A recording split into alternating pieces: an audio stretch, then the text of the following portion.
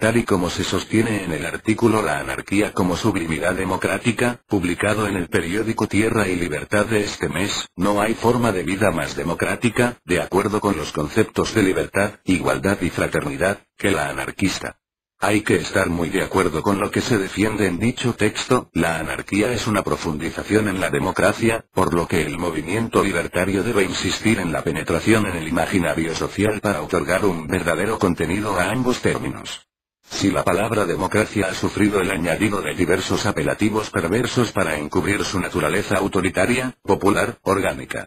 Ahora es importante aprovechar el paulatino descrédito de la llamada democracia parlamentaria para que la idea no acabe sucumbiendo a los intereses del poder. Quiere verse el origen de la democracia en la antigua Grecia, sin olvidar el carácter exclusivista de aquel sistema, a lo largo de la historia puede verse como un intento de ampliar el número de participantes en el gobierno. Desde ese punto de vista, la autogestión social y política que supone el sistema de la anarquía sería la forma más perfecta de autogobierno, si no se quiere renunciar definitivamente al término gobierno, asociado a una minoría que toma las decisiones. El término democracia, con el que se llenan la boca los políticos profesionales, ha pasado a tener un carácter abstracto y a encubrir sutiles formas de dominación, por lo que es el turno para que los anarquistas aporten mucho a la ampliación y perfección de su significado.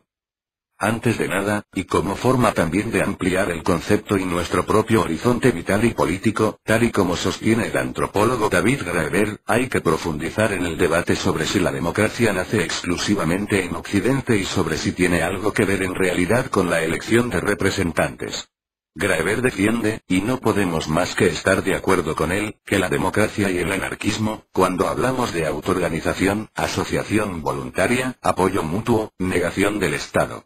deberían ser idénticos. Por supuesto, no existe consenso en los movimientos sociales al respecto, aunque es un problema más terminológico que real. Sea como fuere, la palabra democracia sigue teniendo un poderoso reclamo y podemos dar una definición amplia, con la que la mayoría de la gente puede estar de acuerdo, según la cual se trata de la gestión colectiva por parte de la gente corriente de sus propios asuntos. Graeber afirma que dicha concepción ya existía en el siglo XIX y es por eso que los políticos del momento rechazaron el concepto para luego apropiárselo adaptando la historia para presentarse como los legítimos herederos de una tradición que se remontaba a la antigua Grecia.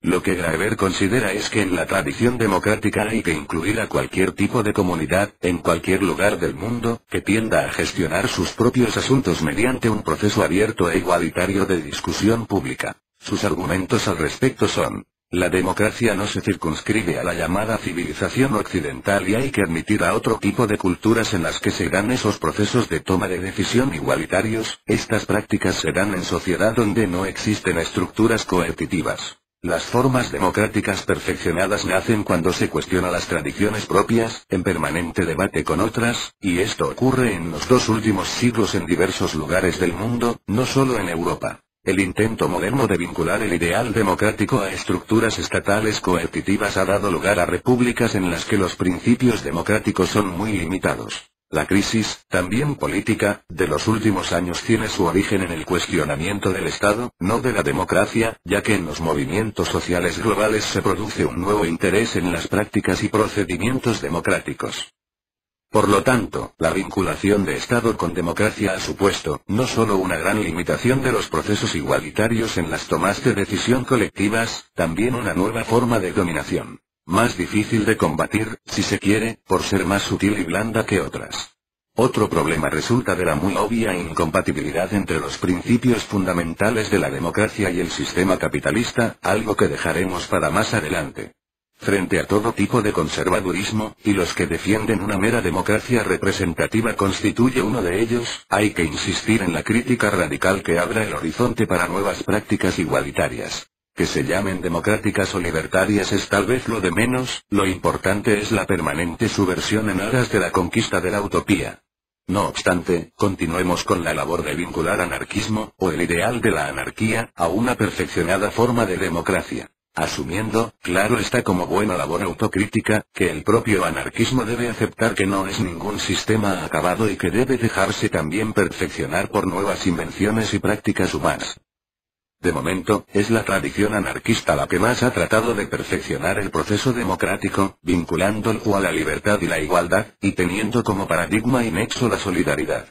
El motivo por el que los anarquistas siempre se han opuesto a la democracia representativa y al parlamentarismo es de peso, consideran que toda delegación del poder por parte de las personas supone necesariamente la constitución de un poder separado y dirigido contra ellas y la sociedad que llevan. Puede decirse que la propuesta anarquista, frente a otras corrientes revolucionarias, siempre fue la democracia directa. Capelletti, en la ideología anarquista, menciona el nombre de algunas formas de democracia directa como los consejos, las asambleas comunales o los soviets, en origen en la Revolución rusa, y antes de sucumbir a la centralización estatal, verdaderos órganos obreros de democracia autogestionaria. El anarquismo considera que no es posible la democracia sin extenderla a todos los ámbitos de la vida, incluido el económico y laboral.